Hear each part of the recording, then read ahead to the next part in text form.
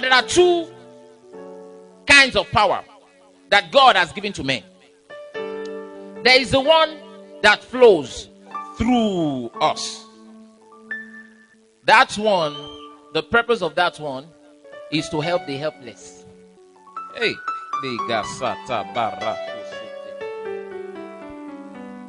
Oh, Brosoto Setigeri.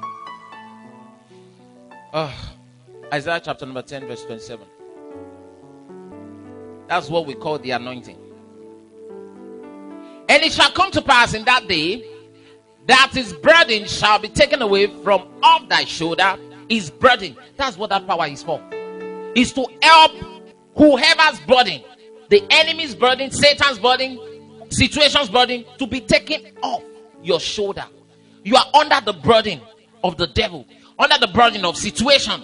But then there is somebody who has this power. God graciously gave some people in the body of Christ to carry this power so that it will flow through them to help lift the burden off your shoulder. You've been going through this thing, and then here comes a man of God, one word spoken, prophetic word, and situation changes. You understand? Here comes a man of God that prays for you, and the situation turns around, and so on and so forth. Okay, so and it shall come to pass in that day that his burden shall be taken away from off thy shoulder, and his yoke from off thy neck, and the yoke shall be destroyed because of the anointing. That's the power that flows through us. Mind you, it flows through us. It doesn't flow to us. It is not for us. Us who carry the power. That's what I'm trying to say. If you have this power, it's not for you. It's not to you. It is through you. Like somebody has described it. You are like the hose. Water is going through. Are you getting what is going on? That's what the power is. Is to help the helpless in the body of Christ. Those who cannot help themselves. Who are these helpless? Those who have not grown in spiritual things. And I want you to listen to this because you know some people think this is how God has planned. God is so merciful and so kind, and so He has anointed men to always help us. No! Yes, God is kind and merciful, but He did not anoint men to always help us. He's, he has anointed men to help us for a period of time. What period is this? Why we are still babies. While we are still growing, we've not perfected our faith. It is not God's joy that you should be victim or you should depend on anybody. But why you are still growing in your spiritual walk, while you are still a babe in spiritual things, yes, you need someone to help you. Do you understand? You can depend on the anointing on somebody and believe that man of God. Believe his prophet and you shall prosper. Are you still out there? Because you see, there are some things. Oh, God. Listen, if this is not clear, you will never grow as a Christian. That's why many Christians don't grow. That's why they don't grow. And you know what God does? Anywhere they practice this thing in their midst. In other words, helping people with the anointing and all, and that's all they focus on. And they are not building the people. People don't stay there. They cannot stay. God's people cannot stay. They will come receive and go. Come receive and go. Come receive and go. That's why those who are commanding the largest crowd are those who are teaching. They don't they don't do too much display. They are teachers. They teach the word of God. Why? God will order people's steps to go there and grow because God's best is not for you to be dependent. That's not God's best. Otherwise, Jesus has failed. God wants every one of us to be masters. Do you understand? In our words. Does that therefore mean that in the period where you have not grown, you should not cry out for help? No! Cry out for help. Otherwise, you may die before you grow. But while you are still perfecting yourself, you've cried out for help. Be working on yourself. The day comes that you cannot handle certain situations yourself. At least you say, No, this one is a no. Don't worry. This I can take care of this.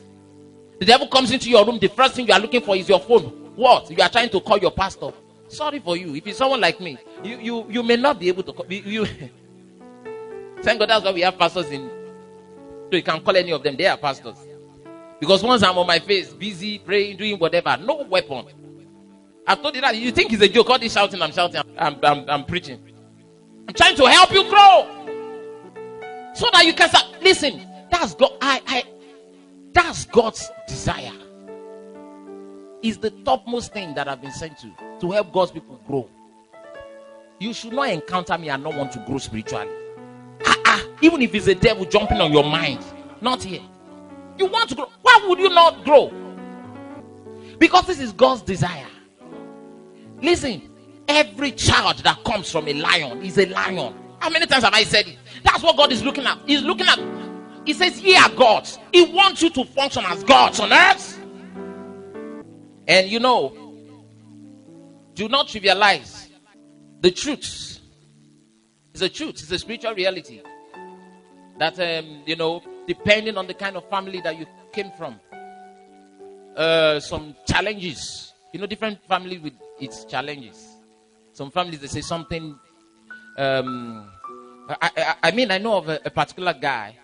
The grandfather died at a certain age. The father died at the same age. And I met him and I'm seeing the same thing on him. The guy's going to die at that same age. How can you explain that? Something real is following the guy. And how? It's from the from the family. You say why? Ah, the connection through blood. It's called the bloodline. Is that real? It is. Now you have to listen and listen to me. Listen hard. Listen hard. These things are real. One thing is happening in the family, you see it. There are some families that they don't ever go to school. Anyone that tries to is in trouble. They don't. It's either they get to somewhere and they stop, they can't move forward, or they don't go at all, or something. Anyone that's trying to push to break the limit is in trouble.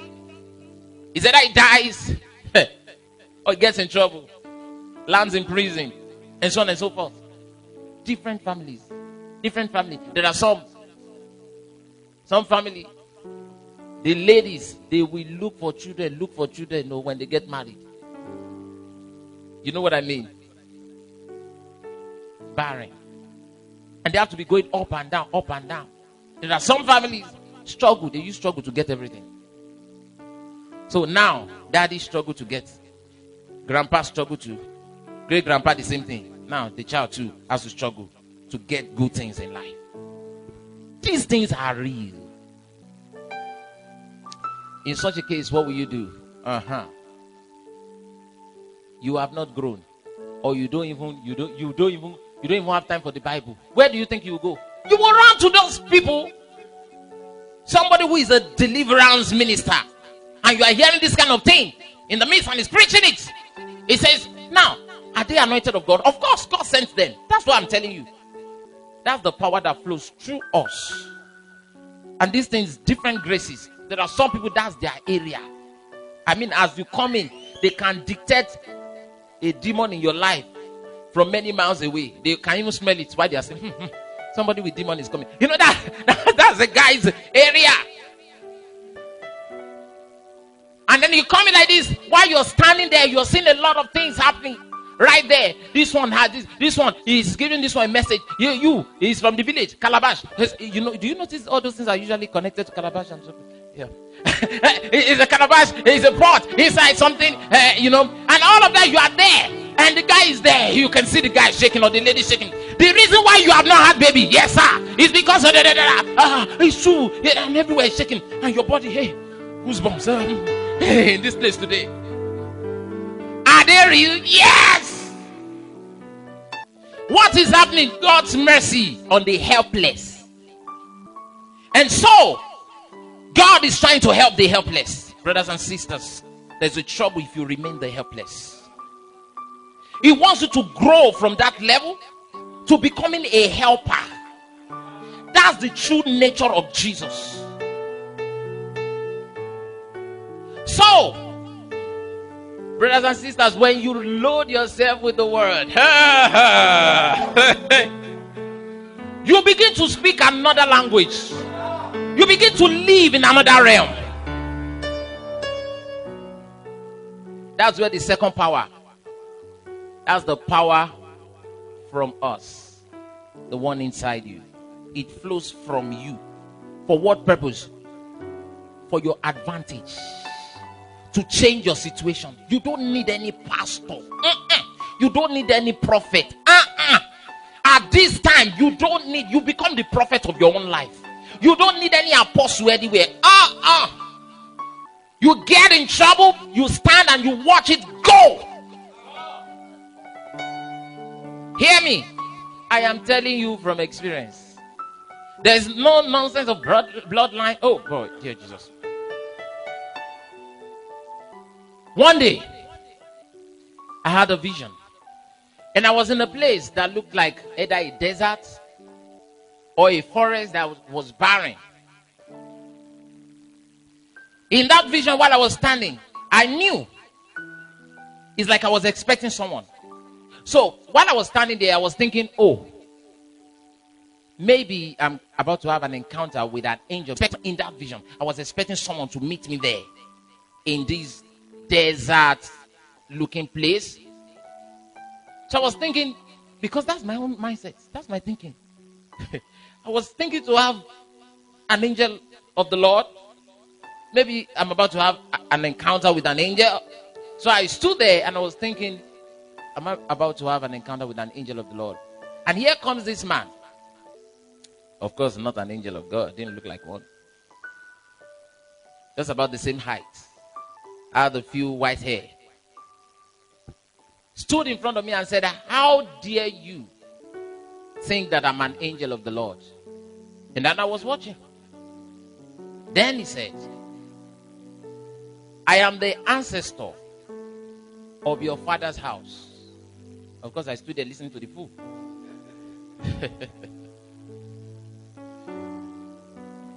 then he said, He said, I'm going to show you many things.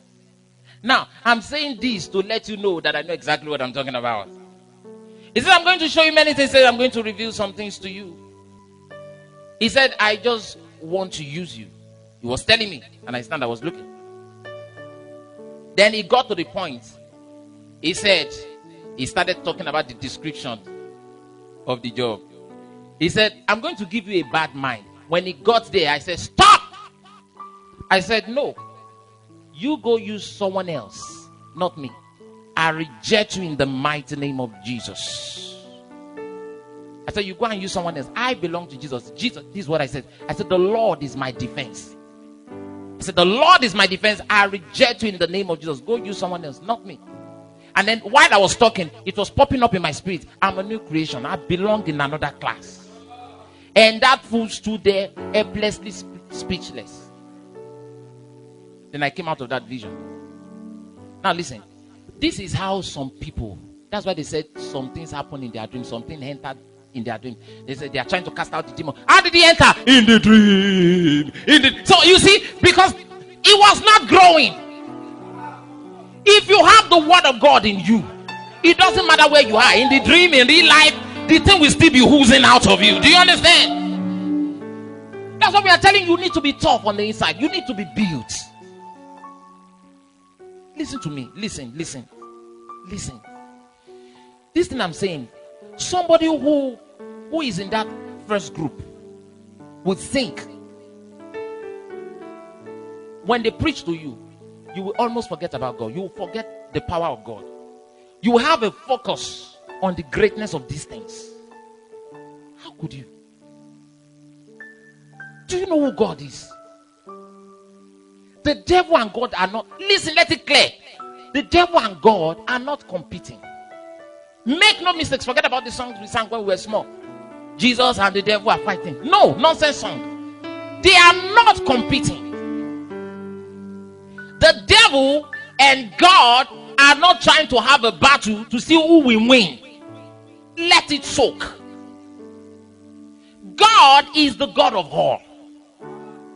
And according to the Bible, the Son of God, by the name Jesus Christ of Nazareth, defeated the devil. And he did it eternally. So the devil is completely, permanently under our feet. Those of us that will believe it and stay with it. Do you are you still here? So it's an insult trying to think like, you know, maybe it's the power of God against the power of darkness. It's an insult. It's for the junior class. When you grow up either and you understand the word of God, you understand your role. Listen, you don't even, oh God, dear Jesus Christ. Oh, a man one day was bragging and talking against the Archbishop Benson Idahosa of late memory and was talking and he said he's a witch and he, he was telling that man of God, he said, Don't worry, I will deal with you. Even God will not be able to help you. The Archbishop said, You are right. God will, I will do it myself. You don't need God. you see, why? Because the Archbishop thought he was belittling God. God, you don't need God. Me, I'm enough. That's how the word of God wants us to think. That's the mindset. You alone, you are enough to put the devil to flight. Now, God, do something. What will you do? You know, please, God, God, where is He? He's on the inside of you today. If you will believe this, there's no nonsense, no rubbish. There's the one thing is pursuing you. The problem is if you have not grown, you may have it actually happen. Yes, and that's why Christians have it happen. Why? They've not grown. Instead of you to be growing and come out and glory to God. Listen, I'm not of this world. I I I I, I have so thought it thought about this thing. You you can't give me a prophecy. You understand? You cannot prophesy or prophesy to me against what I believe in God's word. It doesn't matter your long cap. Uh, uh, it has to be consistent with this book. How did you get there? If you ask, I'll tell you the word of God. The word of God. I was not like this, though. I was not. I used to be fearful. I'm telling about me. I used to be fearful. I used to believe everything. I used to have a lot of superstitions. I used to believe them. Until God's word did something to me. And then I chose. I it's a choice. I chose to believe what I find in the Bible. I you know when I study, I'm full of emotions. As I study, ah Cobra has tequila shot. Can you pray in the Holy Ghost for a little while? Sira balabo sokoraba. Iba shata bagaratu soto. Sira baraka laba shataba.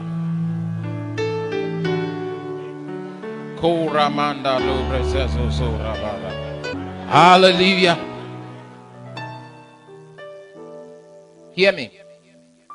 What they call patterns and the likes, they have power over your life as you permit them. They have power over your life as you allow them. The devil will, of course, come to you and help you plot the graph. Are you not sure it's not it's not is it not the same thing that's happening to my daddy? That is now beginning to happen to me? Is helping, and then you meditate on it. You meditate on it, it becomes a real reality. And then you can't come out of it. Hmm. Then the place of Jesus in your life is not real. So why do we say we are Christians? Why do we say we are children of God? Why do we say we have the Holy Spirit? What is He doing there? What What's the place of the Word of God? If our life is like this, we are helpless. What what what is it? What's wrong? Is God real? Is He powerful at all? If a pattern that is affecting those who are not born again or they are born again, they are ignorant. What is the pattern? they're trying to tell you something that is orchestrated by demons. Demons. What are demons? These are subjects, angels of Satan. Who is Satan? Satan is a guy that one time, over 2,000 years ago, was defeated by our Lord Jesus Christ. The Bible did not hide it. It defeated Satan, rendered him powerless. As far as our kingdom is concerned, he is powerless. That's Satan. And so, which means is the highest thing in the realm of darkness. You see that? And so you have these little demons trying to make the same thing, the same pattern happen in your life. They say, Well, it's a, it's a result of blood, it's bloodline. Listen, what does the Bible say? Which were born. It says, Not of blood. Did you never read that? Not of the will of the flesh. John, John chapter number one. Some of you are looking at me like, well, what am I talking about? Let's begin from the ninth verse. that was the true light which lighted every man that cometh into the world. He was in the world, and the world was made by him, and the world knew him not. He came unto his own, and his own received him not. But as many as received him, as many as received him, to them gave he power. The word there is the right. He gave them the right to become the sons of God. Even to them that believe on his name. Next verse. Which were ones that believe were born not of blood. What is he telling you? He's trying to let you know that you do not hold your birth to blood. So, what does that mean? Whatever it is, the nonsense that is coming through blood, they say it's the spirit from blood. Well, I was not born of blood. Glory to God. Which were born not of blood. What were they born of? He says, not of the will of man, of the will of flesh, not of man, will of man, but of God. We are sons of God. That's what the Bible shows. Do you think when you you think these things are just written there so that you can have money devotion and you read it and say, Hey, hallelujah? Oh, what? These are real stuff. God communicated his mind in the scriptures. You are supposed to take it as it is. Well, I've not believed it. Keep meditating, you believe it. Keep looking into it and meditating. It's because of your bloodline. Which bloodline? You know, we trace it to your lineage. What lineage? I don't belong in that lineage. Trust me. When you get down, you will land at Abraham. Glory to God. You think that Jesus wants to show up to take us up for rapture, and then he shows up, and then he's still trying to drag those who are queuing up for deliverance. You, you think that's what? No, no, no, no, no. Otherwise, all of us will be babes. We all babes we just enter with Jesus. No, no. The Bible says, Ephesians chapter number 4, reading from the 11th verse. I want you to see the mind of God very clearly here. And He gave some apostles, and some prophets, and some evangelists, and some pastors, and teachers to be casting out devils and deliverance sessions. Watch this for the perfecting. Can, can you see God's original dream? For the perfecting of the saints, for the work of the ministry, for the edifying of the body of Christ. Next verse, till we all come in the unity of faith and of the knowledge, epignosis of the Son of God, unto a perfect man. The word perfect there is teleos. It means mature in spiritual things. Uh-huh, uh-huh. Unto the measure of the stature of the fullness of Christ. Say hallelujah. Yeah. Glory to God. Listen, by the power of the Spirit of God, you are growing. In the name of Jesus. You are growing to become spiritual giants. In the mighty name of Jesus. You will never be small again. You will never remain babies. Your faith is coming up. Your faith is alive. Your faith is working. In the name of Jesus. Pray in the Holy Ghost right now. Liberata bagarata lize. I'm going to become spiritual giants. A spiritual giants. A spiritual giant in the kingdom of God. Liga rota zanda grande lo brehete. Rata la brasha. Rete kuza. Ke ratele. And the loser. And the loser. And the loser. And the loser. And the loser. I'm growing. I'm growing in my face. I'm growing to become a spiritual giant. I'm growing. The word of God is working in my spirits. Lego Shatabaha. Mandagala.